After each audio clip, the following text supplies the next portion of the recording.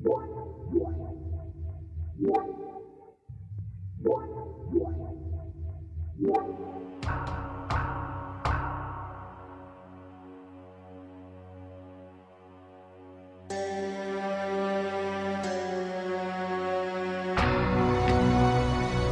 realized the moment I fell into the fissure that the book would not be destroyed as I had planned.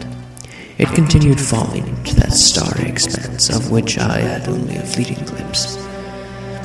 I've tried to speculate where it might have landed. I must admit, however, such conjecture is futile. Still, questions about whose hands might one day hold my Myst book are unsettling to me.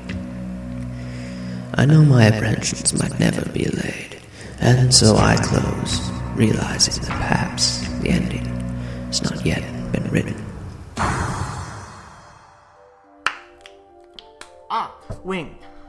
Glad I found you in the studio. Uh, we need a host for the podcast, so, uh, you're it. Yeah, sure. What's uh, what's the host do again? Seriously? The host, you know, introduces the podcast with pieces, waxes lyrical about current events, current Myst events, you know, that kind of thing. But there are no current Myst events and no current Uru events, so I guess you don't really need me. no, you stay here. Read! And make it good! I'll be in the sound booth, and if there isn't goodness, I'll be back. Oh, fine. Give me that.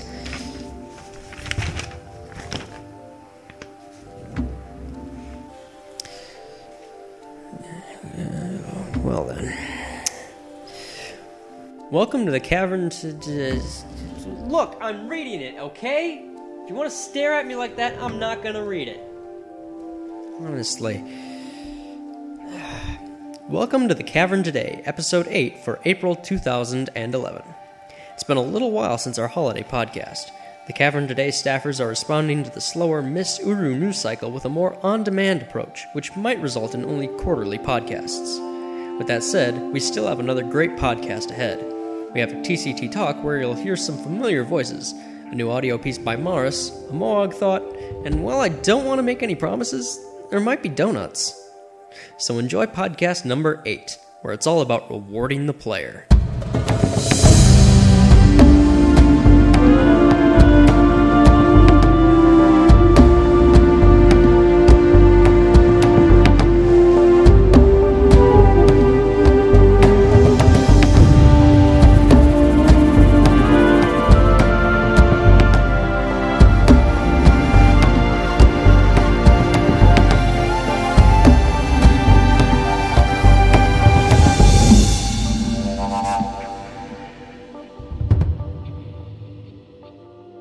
Welcome to another episode of The Cavern Today. With us today we have Alhan. Hello. Dalkin Starbine. Greetings, citizens. Jeff, or Jeff Wise. Hey, Maurus. Question marks? And me, Janathus. So, here we are, one year in, one year later, since the launch of MOULagain, or Myst Online or Live again. Hmm. that almost sounds bad. Ugh, again? Again. it's like the game that won't die. We keep trying to kill it, and it just won't stay down. I, I don't. See, I, they sh- I don't think that I've tried to kill it repeatedly. You guys may have, but that's on you. It, I think it should have been called Uru, or UU again, if, if we're gonna go with the again, but whatever. What most of this Myst community doesn't know is I've been trying to destroy this franchise for years, and I keep failing. oh wait, I didn't say it. Oh, wrong podcast. Yes, doing a podcast about a beloved franchise is not the way to kill it. It simply I'm doesn't. just well, happy that I can actually get MOULa to work now. It won't disconnect me every five minutes. Remember doing that? Oh, that was fun. I, I will say that you know, e- even looking back, you know, Myst, looking at MOULa, I don't. I don't really play it to play it anymore. I've done all the content, in this case, six to seven times, considering how many times we've restarted the game. But it's still really nice just to go in kind of the atmospheric thing. And especially now that I have a, now that I've, you know, got a h- very high def video card, some great speakers, uh, an HD TV that's wired up to my computer, going in and playing some Uru, like, and experiencing, like, my nostalgia and using that as my baseline to test my new technology. It's always, it, it, it's always kind of a little treat. It's, I guess it's my guilty pleasure. I know it's not going to look a whole lot better, but it's still my, still a fun thing. Yeah, I love going back in and, you know, just going through the ages and, you know, nostalgia and all that kind of stuff. I do, for MOULa, still need to get help on Ahnonay and uh, Eder Delin and Good Sogol, but yeah, and I'll, I'll, I'll just get Mr. Nathis to, to help me out with It- Ahnonay. it's possible to do it yourself, but it's just really clunky that way. And I, and just on a, on a finer point, I, I like to call it Mule A. yeah, well, sure. too bad. Uh, I'm calling it MOULa. I'm not correcting you. I'm just saying that's what I like to call it because I don't know, it just gives me a, a whole. It's like a, a scientific designation. Mule A. Mm-hmm. Subject A. Alongside I- hepatitis B. I was talking to Moog about it the other day, and he- we were just discussing the finer points of Uru, and I think one of the most surprising things about it, which kind of really set it apart, was that it was a very unique game. There hasn't been an online massively multiplayer. I mean, I use massively in quotation marks because it's never been super massively, but this game is incredibly unique in the sense that it has completely different goals than other games do. And the it's kind of attracted a very different type of user base than most games attract. Think of the early days. The things that uh, everybody kind of muses over with the nostalgia are all glitches and bugs with the game, but we all kind of accepted those bugs and kind of played with them. We made the bugs and glitches part of the game. And we also have uh, people who, who are professional glitch writers, the uh, skydivers. Yeah. Mm-hmm.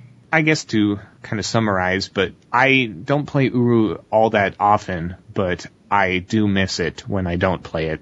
And so I do pop it in every now and then and walk through the ages. I especially like Eder Tsogal. I think that little fountain in the tall grass and the mm-hmm. crickets in the background or whatever is just, it's very, very calming and soothing. I'll sit in the pod ages and just stare out at the woods, hoping to one day see one of those stupid animals that everyone's talked about, but I've mm-hmm. never seen in the entirety of the time I've tried. Well, Moog said he was in the city the other day, and there was 38 people in, in the age, actually.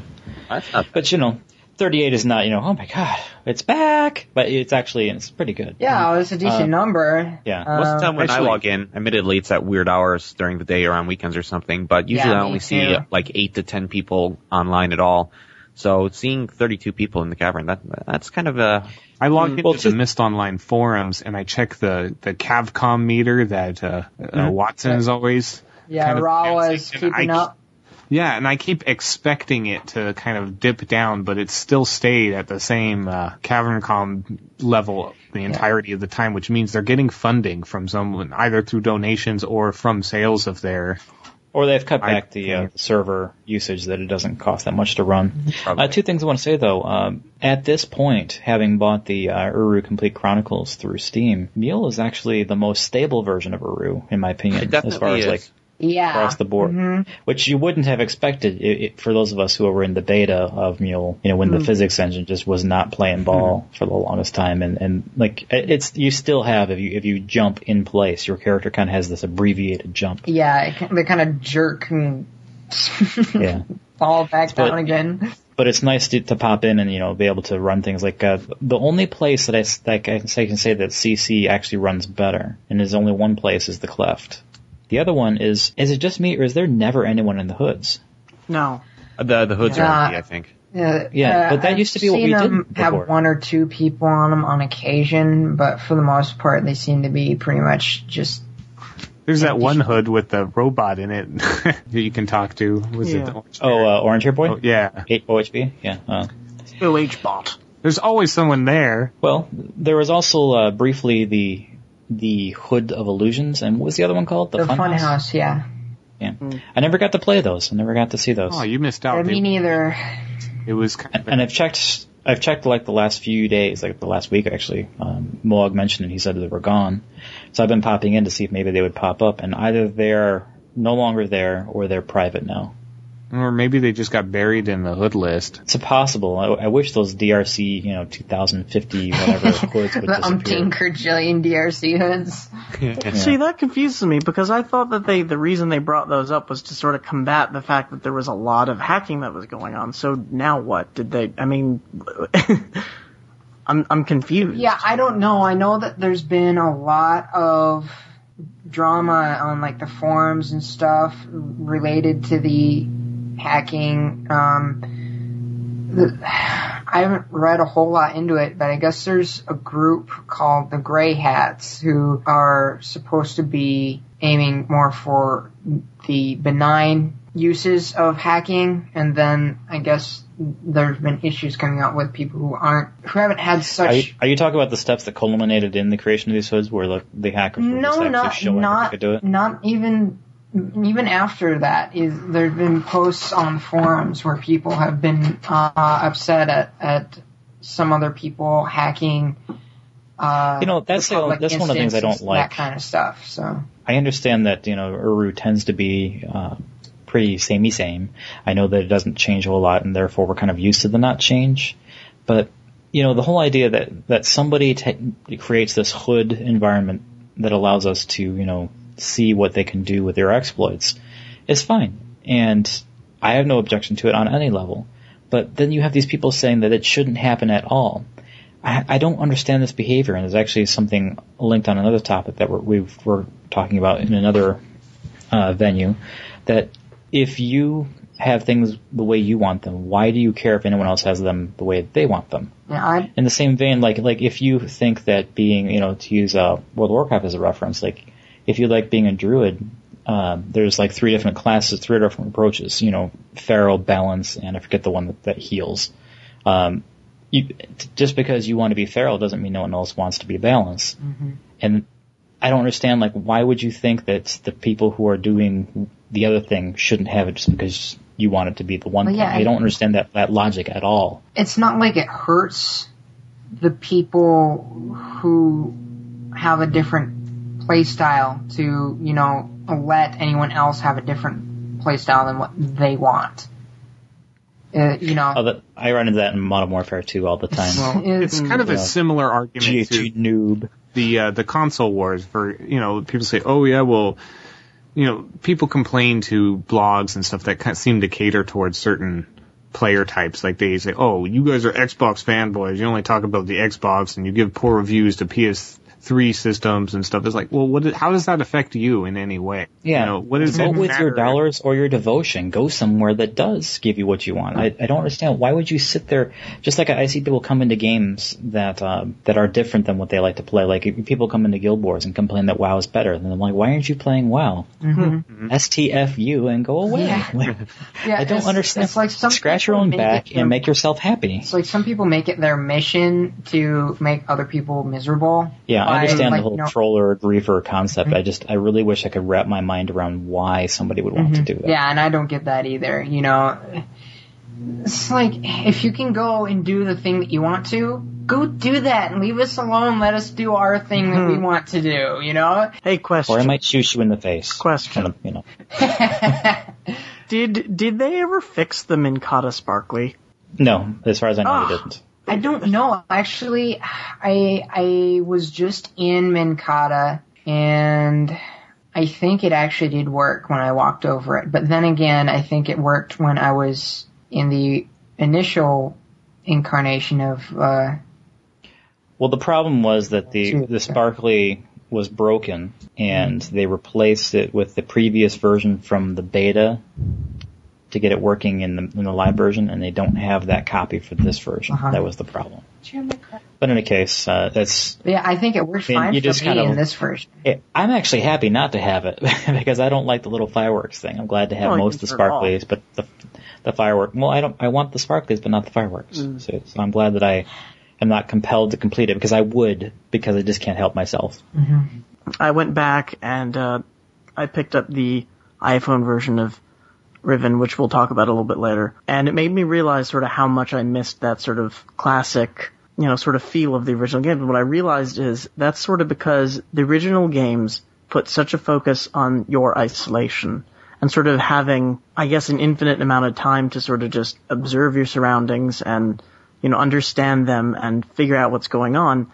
And the whole idea of taking that experience and making a multiplayer kind of breaks that immersion, sort of, because Well, that's that was I, I understand that that approach, but the thing is, um, the way MOUL or, or Uru was originally pitched to us really sounded more like a um, an episodic game that allowed co-op multiplayer. Mm-hmm. and that so that you could actually share the experience with people because they said uh, in a lot of cases people were playing together in the same room Yeah.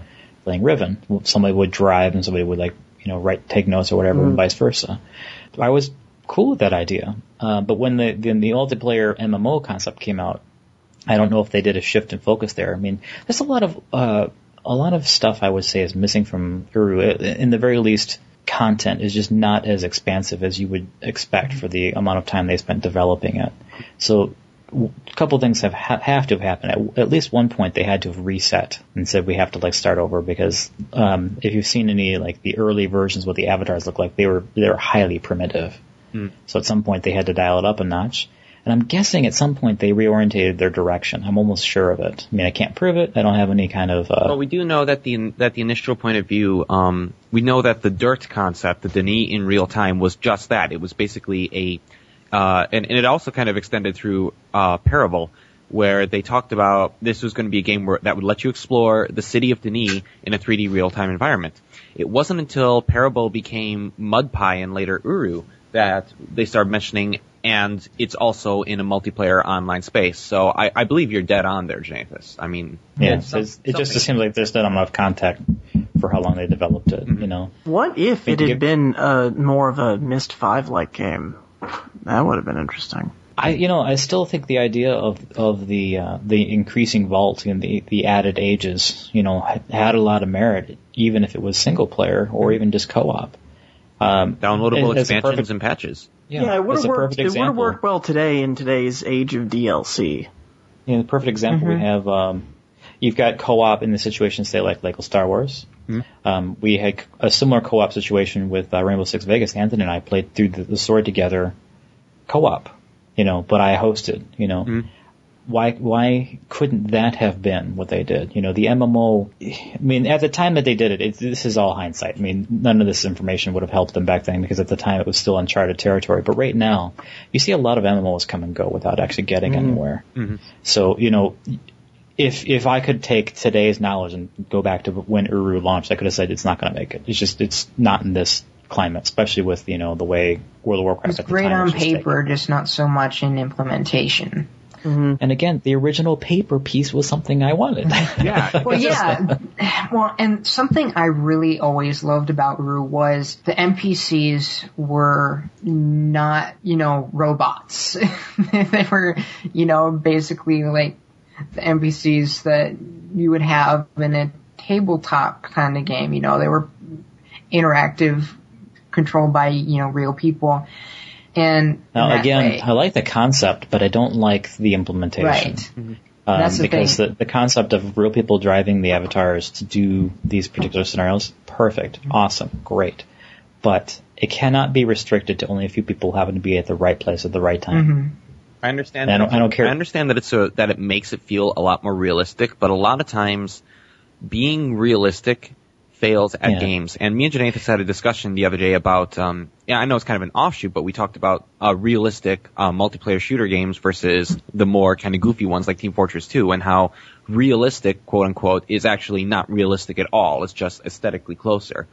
And Yeah. actual realism in gaming is not the point. Gaming is an escapist activity. No matter what game you're playing or how you're playing it, it's always an escapist activity. Well, right, and and I Get out didn't of my mean head, I about was just you know, about to like say how. Sorry. realistic it is. I was just saying how immersive it was. There, there's kind of a, a line there that is, you know, you can get Immersive is great, immersed still into an escaping, you know, you can get immersed into that environment and escape from reality.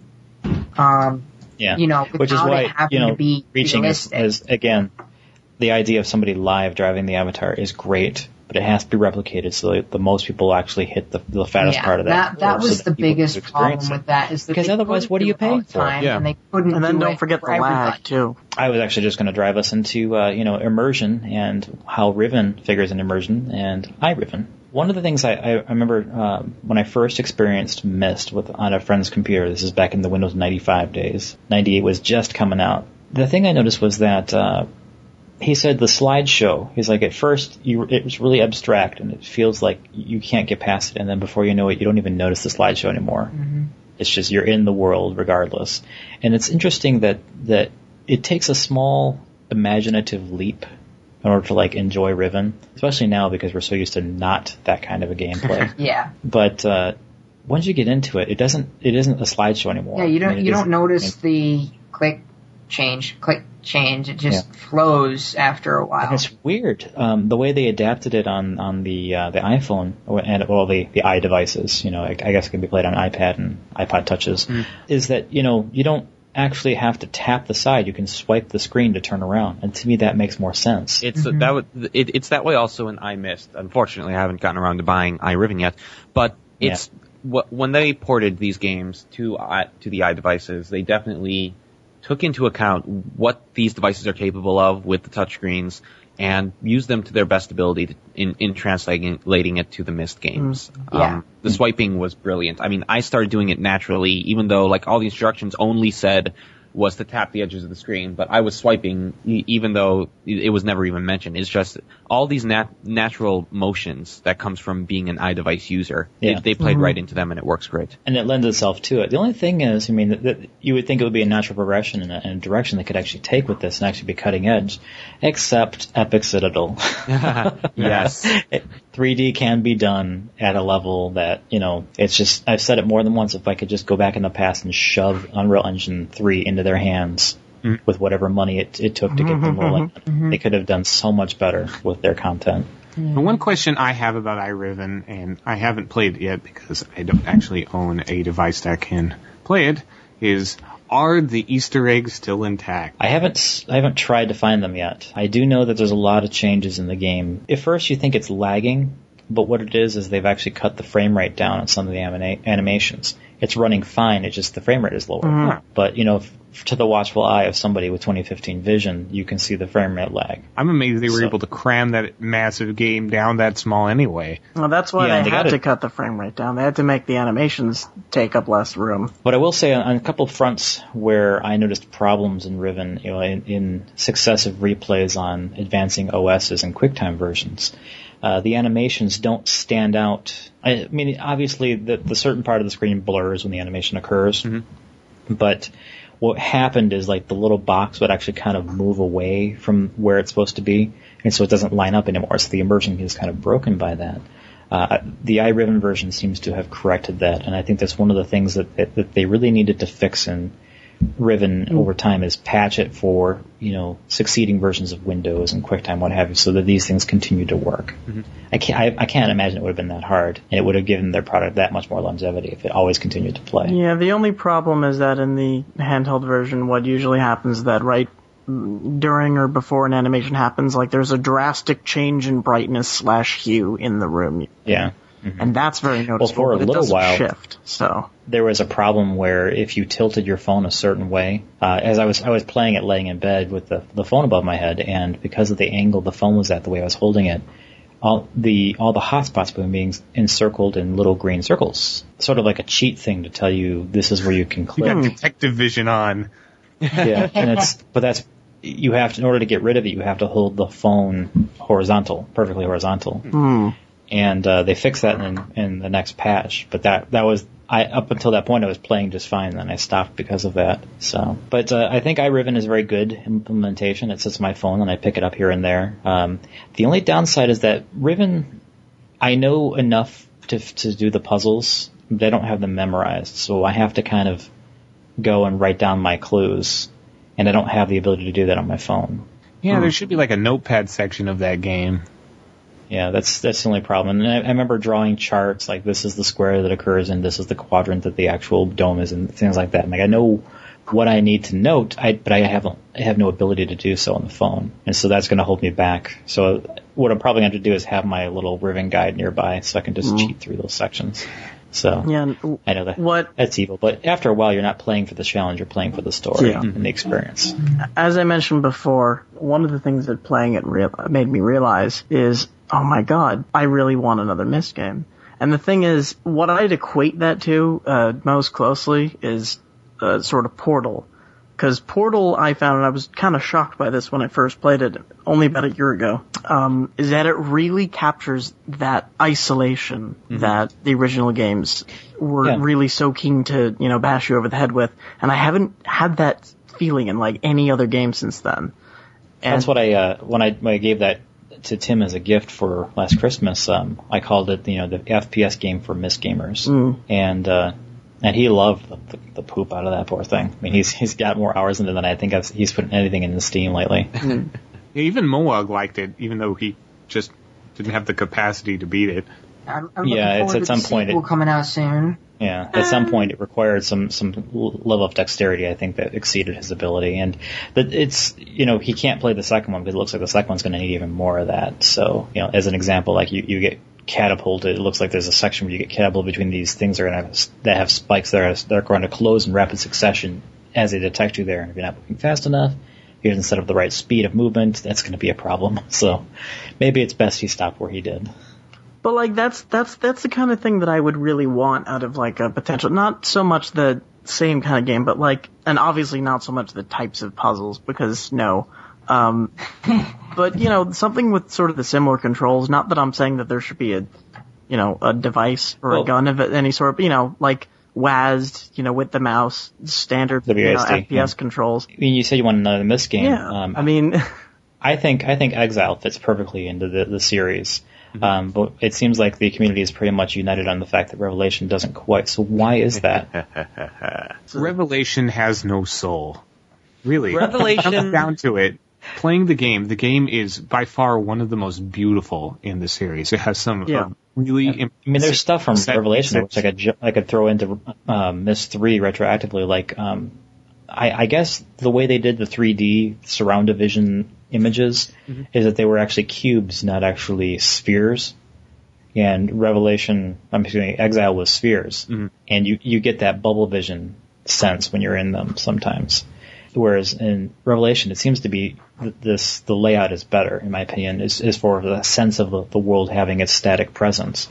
Aside from that, though, uh, Revelation has a lot of problems with you know the puzzles being something you figured out like two hours ago, but still can't quite get right. Mm. You know, mm-hmm. so Revelation But I lo- has the distinct, at least from my point of view, Revelation has the distinct awkwardness of being a really, really well done adventure game, especially in the traditional Myst style, because there hasn't really been any of those since basically Exile. The problem mm-hmm. is, it is a terrible Myst game. It it's really in that awkward place where it does not fit the the quality, the standards, and the storyline of the rest of the of the oh. Myst series. But on its own, if it was called anything except Myst Four Revelation, I think it would have been considered a great adventure game. well, who's beaten the, that game here I- o- of the five of us? I have Me. admittedly cheated, but I have. Okay, so David and, and or excuse me, Dalkin and, and Alhan.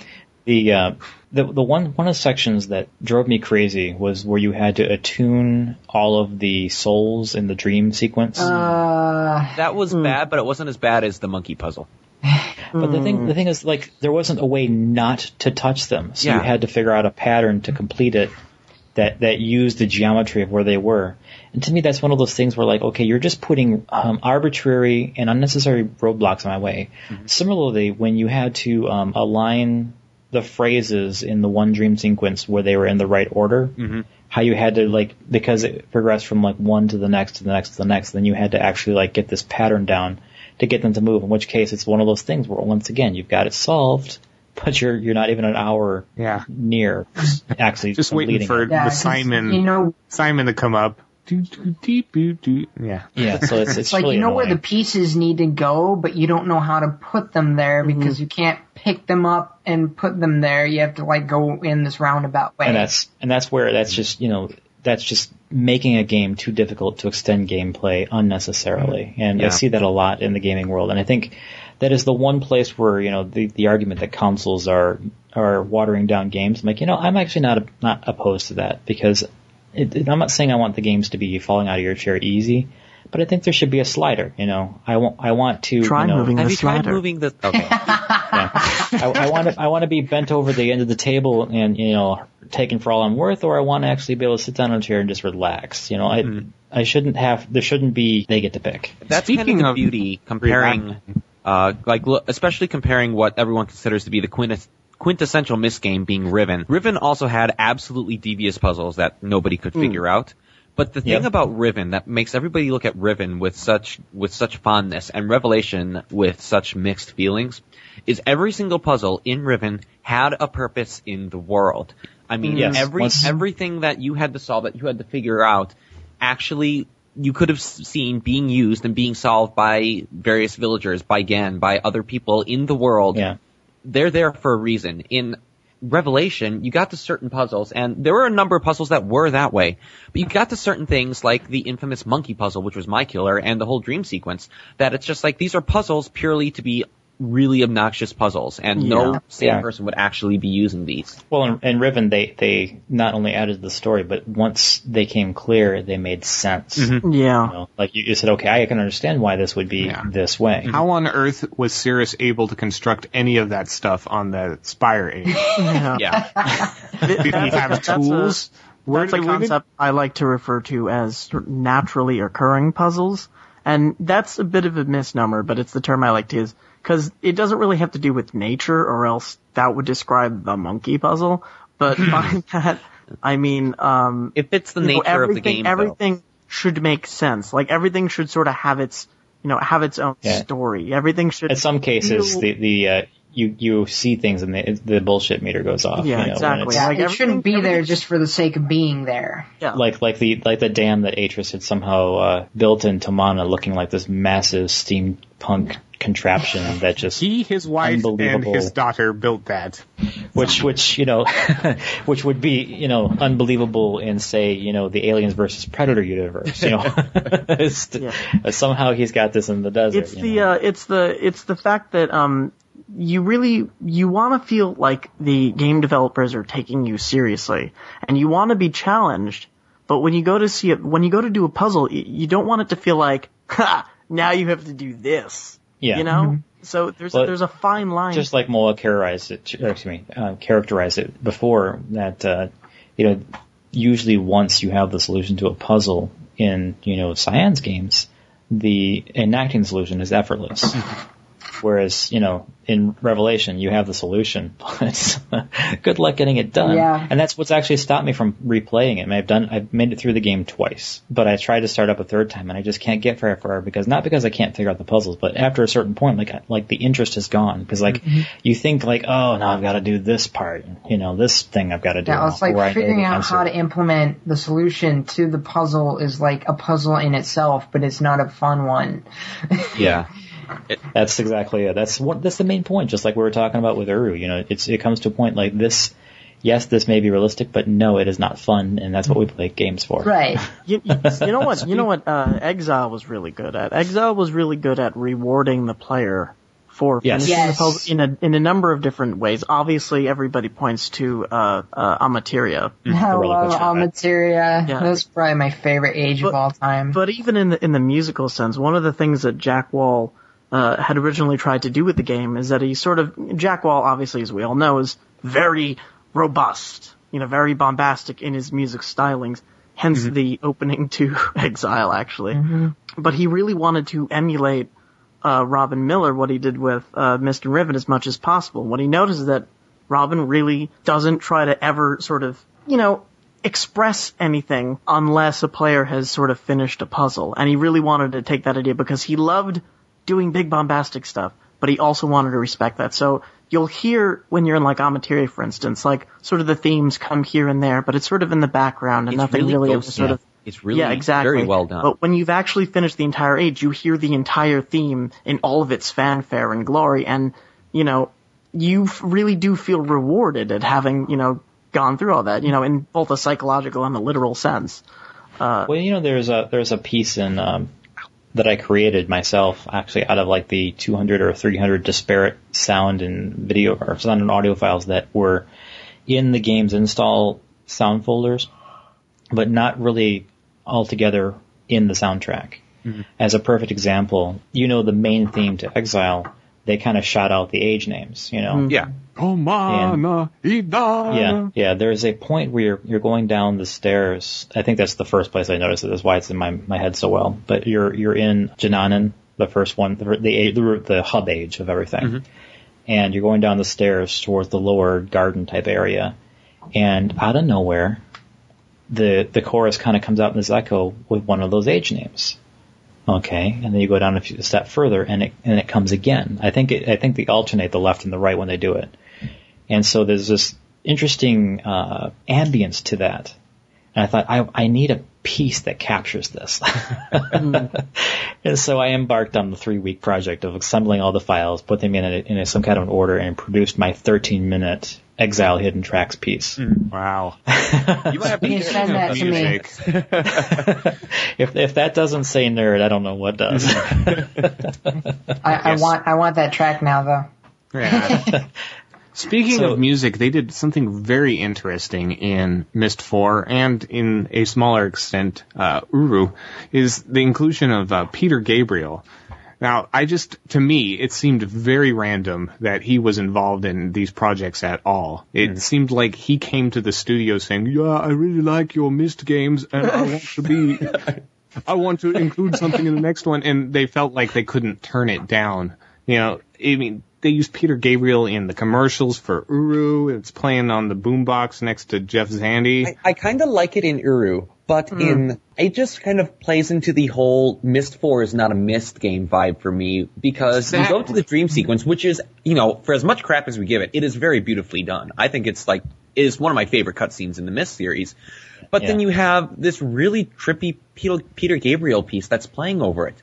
And in Uru, it made sense. Jeff is listening to it on his radio, and you got it in the credits on the single player version. To be fair, though, when he started talking to you, uh, because he actually does the voice of the spirit god, he does have a very nice voice.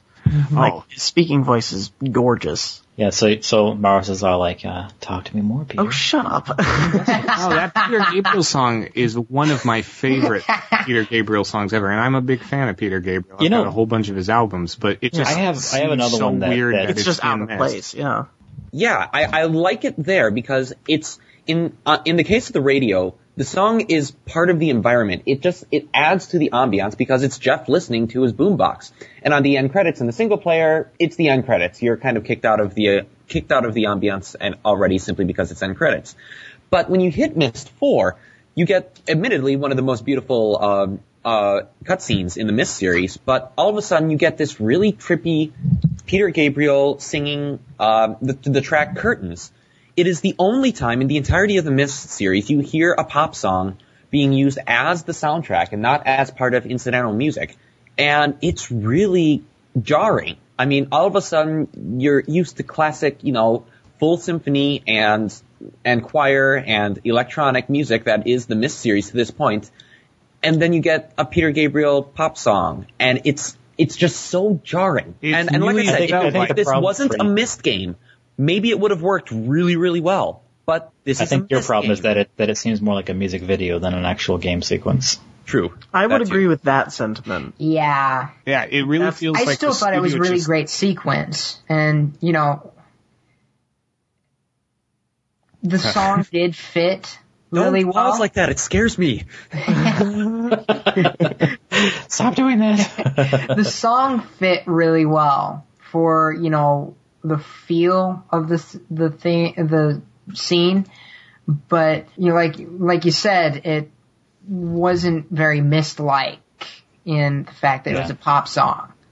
It, Well, it'd be, I- it'd be I- I as hate if there was it. a Star Wars movie where all of a sudden at the end of the movie, Carrie Fisher as Princess Leia came out and started singing a Christmas song, and oh wait. I'm gonna go die in the corner. Please excuse me. well, in any case, But as I the- w- as I was saying before, I think one of the biggest flaws is that it doesn't reward the player for sort of putting up with the game's crap. I don't know. There's a there's a series of of uh, puzzles that lead to that particular sequence. know, but it- the problem is the sequence ends with a punishment. You have a puzzle to solve. Exactly. I mean, Riven put this to very good effect in that even though in Myst sort of there were linking books everywhere, linking books everywhere, books everywhere, in Riven you would hardly ever see a linking book. So when you finally solved one of the puzzles that leads you to, oh my god, look, it's a linking book, that was really exciting. Mm-hmm. It was, oh my god, I've been on this island this entire time and now I'm about to leave for the first time. Oh, this is exciting. and it's and totally that was a real epic. sense of achievement, you know. water's rushing through the walls, and the music is crescendoing, and you see the stone slab uncover, Yeah. and there's a linking book there. Not to mention the uh, the Golden Domes puzzle too, which is Oh, yeah. the same the same thing really. Well, the, you know, it's funny is the trailers always treated it the way they made it look like as an action adventure more so than uh, an actual, you know, adventure game. Yeah. And the clips And that that's show the unfortunate. trailer Is like a bunch of doors closing and opening because that's the closest thing you have to action.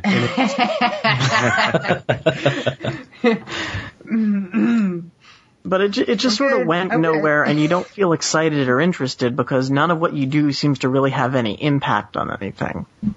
It just sort of I, happens. I don't know. Maybe, see, see, we're kind of hammering on Revelation, and but I still find parts of it enjoyable. I remember having to, to trick it with the the save that I used. Remember how you had to do your um, Oh yeah. your elemental spirit. Mm-hmm. So I just saved and I kept moving the direction necessary to find it. And then I would, you know, once I figured out where it was, because if you clicked one click too far, one click in the wrong direction, it would disappear. Mm. And so, you know, I would save and I'd go back and, you know, I would get it right. Shouldn't have to game it quite like that. And that's, but I, you know, I still enjoyed bits and pieces of that game though. I really enjoyed the game as a whole, you know, Myst or not. I thought it was a good game. It, it definitely has a great soundtrack, and I would probably put it as mm-hmm. the best or second best soundtrack in the series. It's beautiful music. Oh, I love it to death. It's one of the few video game soundtracks that I will mm-hmm. sit down and listen beginning to end. It's like the only other soundtracks are probably Myst 3 and The Witcher that I have that I can actually sit down and listen to like that. how many here Really? got to see I- video games live with uh, Myst segment? Only Nah. you. No, I've uh, I've seen VGL, Maybe but I not with got the Myst the uh, DVD segment. or the. Uh, did any of you It's still the on my wish list. I still haven't gotten it though. Well, it is fortunately it's on the DVD, so Yeah, at, at the time that I, w- I had the money for it, I wanted Crysis 2. I was like, Crysis 2 or the Blu-ray to the videos game? Eh, Crysis 2. I just really like how people are really starting to appreciate video games as an art form as opposed to just, oh, they're this new thing. You know, people are actually appreciating, you know, that the, the music and the visual aesthetic and all that kind of stuff that goes into video games. They're actually going and putting in a new exhibit in the Smithsonian covering video games. And Myst has the rather privileged position of being one of the only five playable games in the exhibit. What are the, do do we know what the other five games are? I didn't look at the links yet. Uh, I don't four? know. I believe they. I don't know. I know one of them is World of Warcraft. I forget what the others are. I think it's Super Mario World of Warcraft is playable? Yeah. That's gotta suck. yeah, I, I- I saw that and was wondering how they were going to make that work. But um, you're going to be in the starting area. Probably. Or they're going to put you in the middle of a raid, and, you know, you're going to be noobish. and you know how to play. I think because, the you know, others are like Super name Mario Brothers. Sir Art Exhibit. Ugh. Good lord. yeah, maybe, maybe they'll, they'll, they'll nerf it so that you, you know, you, you are massively powered and your, your weakest spell is, is all it takes to kill even the hardest of, of enemies, but. I just thought that that was so cool because, you know, they basically did this whole huge voting thing. I don't even know if it's over yet, but they did this whole voting thing to put, to, be, to pick, you know, which games would be in the exhibit. And, you know, like this, they opened this vote up to the public. And Myst wasn't on that list. So there ended up being a letter writing campaign started by Isaac and Adrian from the Mysterium Film Group, uh, sending in a ton of letters over to the Smithsonian to figure out what the deal was, why Myst wasn't on this list. And then they get a response from, uh, Chris Melissinos, who's the curator of the Art of Video Games exhibition at the Smithsonian, and uh, he says the reason for that is is because Myst is one of those only five playable games. He talks about you know how incredible it is and everything, because of course it is. I just thought that that was really awesome that Myst got one of those spots. I think it's really deserving of that Well, spot. it's interesting. You know, Myst is you know one of the best-selling games of all time, the best-selling adventure game of all time, and arguably the adventure game that killed the genre, or maybe just the genre was ripe for killing, and mm-hmm. it just happened to be there at the right time. But mm-hmm. it, it, it's interesting that we all consider the pinnacle of the series to be Riven, which sold nowhere near as much as Myst. Mm-hmm. Well, it's really interesting to kind of. I mean, we talked about it months ago about the uh, adventure gaming coming back into style, but I really wonder where adventure gaming would have been if Myst hadn't come around. I just was talking to somebody who uh, got uh, they ported Seventh Guest to the iPhone now, so this all these games are kind of popping out. They're coming back. It's it's really kind of interesting to see that, and I wonder how much of that resurgence has to do with you know, the fact that they kept going with adventure games even after Myst. I mean, there was all those Myst clones and everything, but Cyan kept plucking away and they made, you know, Riven, which is arguably one of the most epic of all the adventure games I've ever played. Yeah, maybe the, the fact that Riven's uh, puzzles are not as accessible, but I don't know. I, I think Myst had some very devious puzzles too. Yeah. Yeah.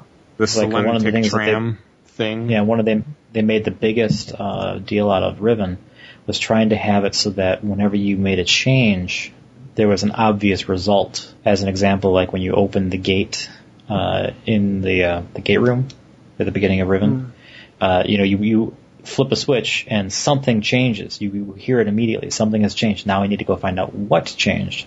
Yeah, yeah. I, I know that was I know that's one of people's biggest uh, gripes with the original one, where they sort of say, "Oh, I'm just sort of clicking buttons." I'm saying, "Oh, that's not doing anything," uh, you know. And and so yeah, that's a good point. Is that uh, Riven does make a very distinct effort to make it obvious that every everything you do has a real effect on the world, and I think that's important. You know, but at the same time, it, it takes everything sort of takes it ser- you know it takes itself seriously. It doesn't doesn't feel like things are just being thrown at you for the hell of it.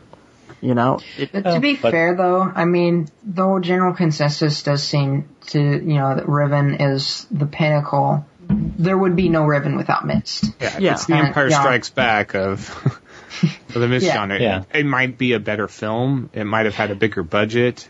It might have been prettier to look at and more epic in scope, but you know, it just doesn't hold the place that A New Hope does for most Star Wars fans. Mm-hmm. You see, to me, you know, that's I understand the that perspective on Star Wars, but I remember as a kid disliking The Empire Strikes Back because Luke was defeated by Vader.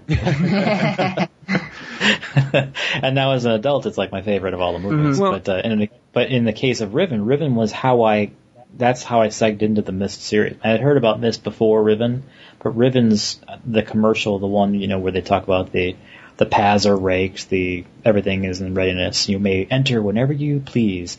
Leaving, however, is a different matter. That is my favorite. Myst Yeah, that was a great trailer. Again, a lot of sw- doors swinging open and closed. Hmm. Hmm. You know, speaking of which, um, swinging the the dis- discussion a little bit back to Exile because I just suddenly you were talking about the motion of what the trailers show. I remember like the little basket in Exile, the little egg shape with pointy end baskets that had books in them. Hmm. How they they came down. I remember the trailer shows them coming down on their little track or, or their rope or whatever their however they came down. And it made it look so epic. I was like, why is that epic? it's a basket coming down on a rope. it's just this side of a wishing well, you know? It's because the music, man. The music is just it gets indie. and I remember, you remember the one with the ball where you've got to raise the tracks and everything and get the ball to actually Yeah. go in? Mm-hmm. I thought, I saw that uh, trailer and here's the Myst Gamer in me. I see the lights coming out from the track and thinking the lights are the most important thing, not the actual motion of the ball. It- It's that feeling of success. It's like you see the motion, like the lights coming on. You you see all these little things, but they're all the clues saying that you just solved a Myst puzzle. Congratulations and get yourself a beer because you that, that's Yeah. that's an accomplishment. Mm-hmm. Mm-hmm. And and the trailers, you know, kind of highlighted that they were playing to their fan base because they knew what what was it that we liked. We liked seeing those little rewards for solving even the smaller puzzles. Not even if it wasn't the big puzzle of the age, but even just the little ones to get there. There was always. I bet something. your Revelation runs great too. Yeah. They feed Even them to my- you like rapid fire with all these lens flare transitions in between each of them with this epic music playing in the background. And you're like, wow, I just experienced hours of Well- gameplay in about 30 seconds. well, we got a trailer like Star Wars was doing, because I think either either we had gotten episode one at the time we were about to. Uh, we got the Myst trailer, the first teaser for Myst three, and I don't, I'm not sure how much you follow the game industry to, to notice this or not, but we get teaser trailers that don't show anything of substance except to say this game is coming out Yeah. and that's and that's like six months beforehand. Whereas we received the trailer to um, to Myst Three around November, like we like it was freaking uh, uh, Star Wars. You know, they came out the trailers with the November holiday releases, and the game actually came out the following summer. And Yeah. it's it was interesting, but the trailer was subs- was sub- substantive. The only thing I wish they had done differently, um, not that not to diss Brad Dourif, but I loved the way they did that sequence where the guy was like, you know, hello Idris, and he the tear I was on his that. I wanted to see I- that in the game.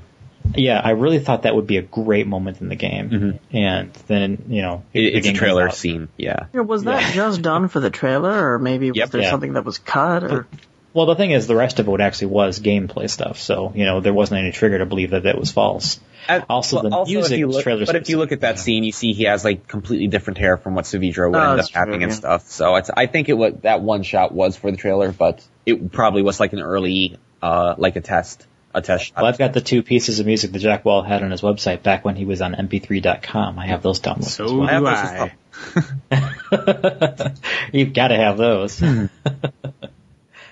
No, Speaking the- of trailers, just a side note, I loved the trailer for realMyst. The oh man, yeah. Yes.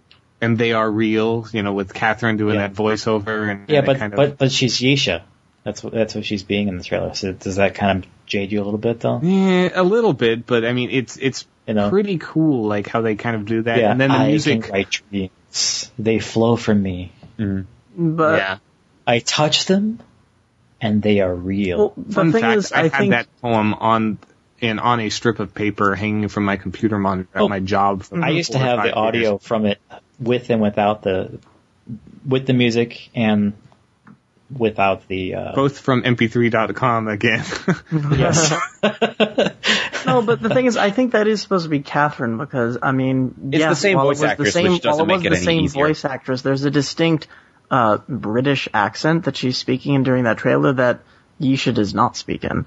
Uh, oh well, the It's it, very it works, slight, it works for me either way so- because it really just talks about the art and writing the books. So it doesn't. I like that the music kind of swelled into being when you suddenly realize towards the end that it's just a remix of some of the themes from Myst in general. Yeah. You're like, oh, cool. It got I remember really when the uh, when the demo beta video came out from realMyst. It was showing like uh, little slideshows of uh, Myst. Mm-hmm. It was showing things like uh, you know I, I wish I had this video. I think I deleted it too long ago, but it was show, talking about saying you know real mystery, real vistas, and then finally the the picture landed on um, sort of like the the Catherine video. It landed at the docks and said now in real time, and then like the little black and white f- blurry image grew larger and larger until it filled the screen, and then it transitioned to the real time, and then started moving real time. That's one kind of thing where it just it hits you with wow, you know that's Yeah. that's exactly what it needs to be. But then what they showed in that video, uh, first off, it was it was truncated. It was definitely a work in progress. Um, it used to be. I don't know if you remember the Riven unofficial site. Did you guys ever go there? Uh, I did a little bit, but that was kind of before my time, Yeah. to be honest. I remember when he when he shut it down. I was like, oh no. Mm-hmm. it was it was when, back when AOL would give you a, an, an at AOL hosting domain. Mm-hmm. So it was like you know Riven unofficial webpage at AOL.com. In any case, the uh, I remember when that came out and thinking, well, I want to see the finished version, and the trailer was completely different. But the trailer was like ten billion times more epic. Mm-hmm. One last thing I want to say about sort of adventure games in general and why I wish there was a, a new Myst Games spin-off that somebody would make. Somebody that understands what makes these games so great. Uh, because in my efforts to sort of put, get more uh, of this experience into my life, I asked a bunch of the people on the team, oh, you know, I need suggestions because I just, I need more. So, uh, one of the games that, uh, was recommended to me was, um, uh, what was it again? Uh, Aura, Fate of the Ages. And I said, oh, right, you know, I might as well try it. So I, you know, so I, I, I, I tried it out and like, we're, we're only in the intro video and I'm already noticing things that are wrong with this video game's philosophy. Mainly that the intro video is just going and going and going and going and going. if you want it's to have an immersive, like, if you want to have an immersive adventure game, you can't dumb it down for the audience. That's their job to figure out. You know what I'm mm-hmm. saying? And That was a pretty good game, but it certainly was no Myst. I mean, and and so I just I'm I'm I feel sad because I I, I think that um what Cyan It wasn't, uh, understood was how to respect its audience. And that's, Didn't the same company do Schism though? I don't know. I haven't tried Schism. Uh, Yeah, well, Schism is gonna hurt you. Oh, as no. Moog like- says, schism's a booger. Yeah, there was a there was a guy that tells me how to do one of the puzzles, and it's a mathematical trick, and the the math changes every time, and so he he like has you do this test to figure out which way the puzzle's doing it, and then you resolve to do it a certain way based on that math, which means you have to sit down and figure it out on a piece of paper. Oh. And I'm like, seriously, are you kidding me? Hey, that reminds me of a certain puzzle Inspire that I'm very, very mad at. We're not, we'll not get back to that topic. anyway, I think it's time to, to wrap up, tie off this piece. Mm-hmm. All right then. So for the cavern today, this is Alhan, Hi. Or goodbye. Sorry. I'm a derp. Dalkin, Farewell, citizens. Jeff to the wise, To the wiggy dicky ziggy. Good lord. Maris, sure. Ah, wow. That's nostalgic. and me, Janathus. Bye bye.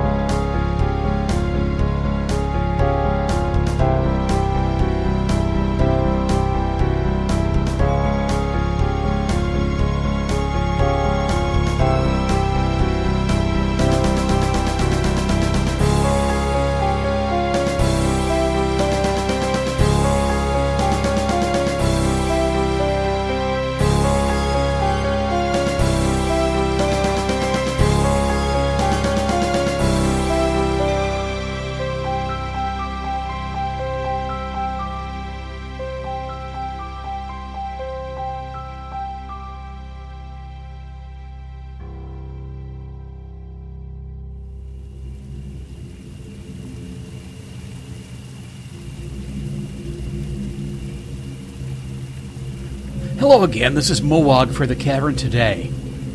I'm reporting from my Relto this time, and I'm using my field recorder. After a solid afternoon of exploration, it's great to sit here on my bench and admire the view. Never get tired of that view.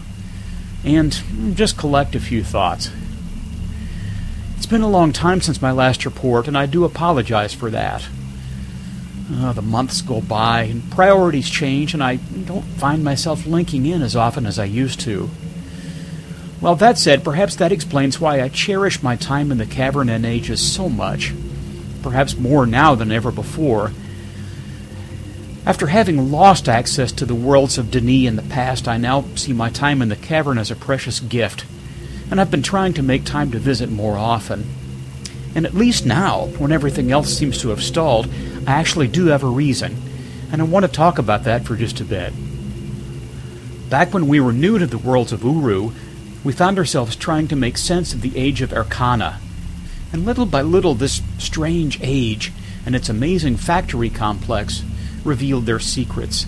And we were to learn that this age was written for one specific purpose to provide a means of nourishing the algae in the great lake of the cavern, to ensure that those algae could maintain their maximum brightness, along with the day night cycle that was the rhythm of the D'ni nation. The sources told us that this task was an essential part of the Great Restoration and that the assistance of the entire community would be necessary to restore the lake, a project that would parallel and benefit the restoration of the great city itself. And it was a great feeling to be a part of that effort. But, as we all know, funding for this ambitious undertaking was always scarce and finally disappeared altogether.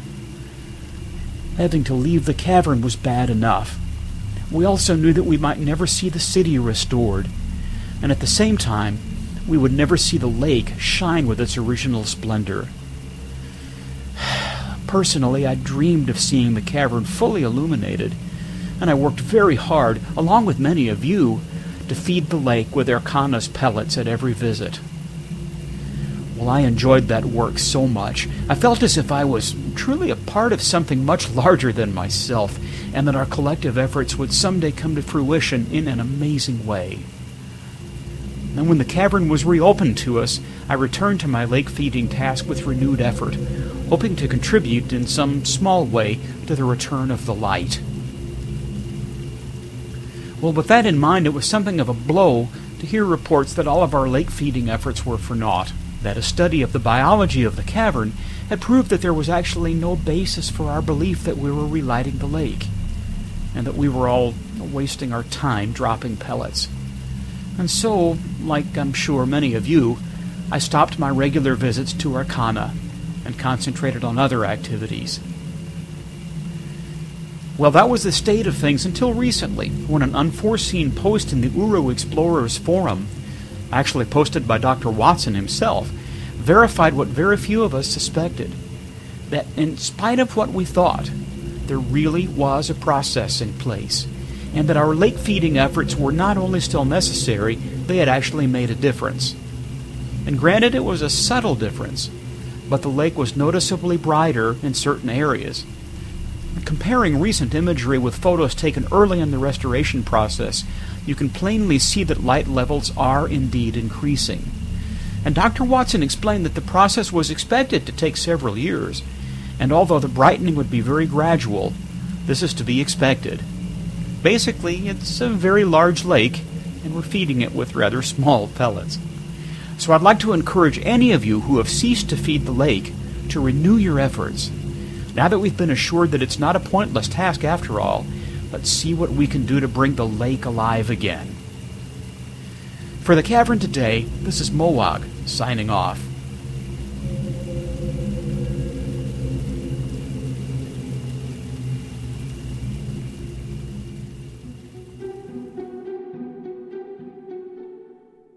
Ah, my friend, you've brought the Big Macs and the fries. The donuts, my friend. Did you bring the donuts? Donuts. Give me the donuts. Where are the donuts? Fool! Oh, that's what you meant by donuts. Okay, well, uh, wrap it up now, please, Wing. I was about to if someone could keep quiet over there. Guys, shh. thing's working. I was talking to you, Maurus. If I have to come over there, you're gonna be plastering super glued Nerf darts. Ah, oh, uh, understood. Carry on. So, where was I? Oh, yeah. Thank you to everyone for listening to The Cavern today. We're glad to continue podcasting, and we're glad you continue listening. This is Wing Dairu on behalf of everyone at The Cavern today, signing off.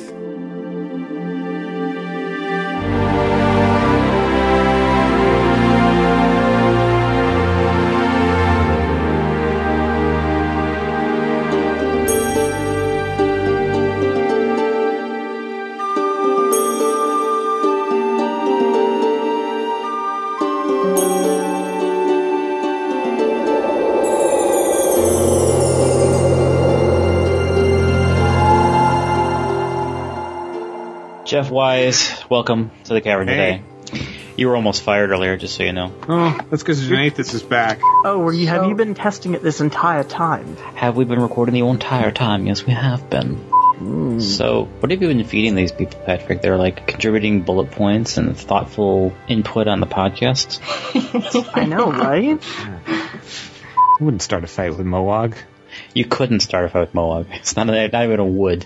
Even if you wanted to, you couldn't. I'm sorry, but you did not post links. You post linkies. Well, I posted linkies, but they're just as effective as links. I assure you. Do you want me to do a dramatic reading of the reply from the oh, God. curator? Oh god. a vacation within a vacation? We have to go Yeah. deeper. I heard you like vacation, so I put a vacation in your vacation so you can vacation while you vacation. Has anybody here been to the Hood of Illusions? Because No. it, it no longer exists at this point. I have. Really? Wait, they took it down. Yeah, it's gone. Why? I don't know why it's I mean- just not there. but you know, if, if they get a Myst movie off the ground, they will have the Myst movie tie-in game, which of course will be done by you know somebody terrible. And On- it'll be on the other hand- terrible movie tie-in game. It's it's like the, the cycle feeding itself. In the most Uh, but I'm way. gonna have to buy it. Your Skype doesn't say what my Skype says because my Skype says what I want it to say. Yes, and that's because you like being the master of everything. Um, ew. Excuse me. Sorry.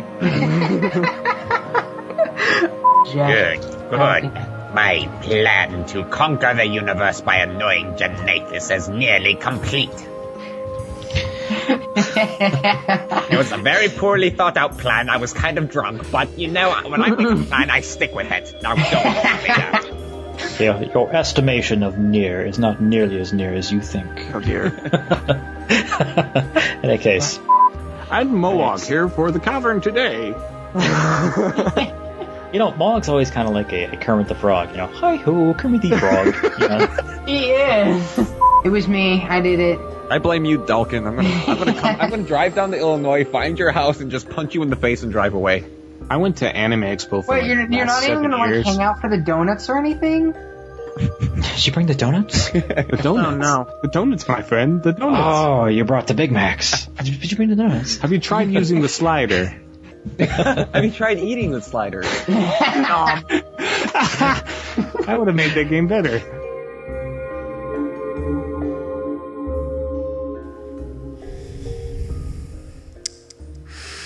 Welcome to D'ni. you and I will live here forever.